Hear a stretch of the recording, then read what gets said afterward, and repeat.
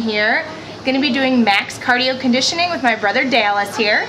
He did a workout with me last night and I told him that if he wanted to work out with me today that he would have to do my max workout since I only have a week left after Friday. So we are doing max cardio conditioning. Show him here. Right there. Max cardio conditioning with Tanya.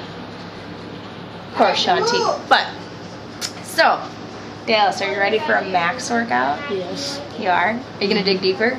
Yes. You ready to sweat? Mm-hmm. Alright. Well, here we go. We'll see you after the workout. Peace.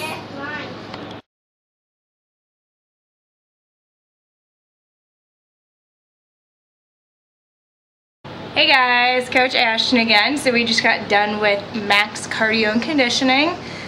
Uh, what do you think about the max one? Hard, long, but it's so worth it.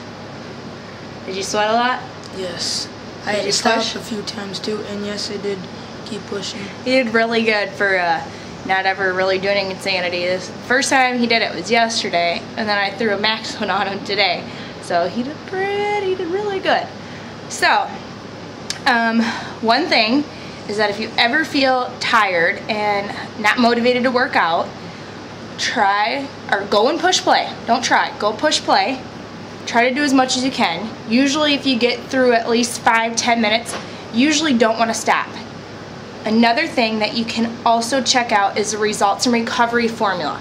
That's going to help you out with your soreness and all of that. And then we also have our wonderful Shakeology, which will help you lose weight, build energy, and get healthy. So, that's a good one there too. Now, we have one more word of advice for you. And as Shaun T says, dig, Dig deeper. deeper. Peace out, you guys.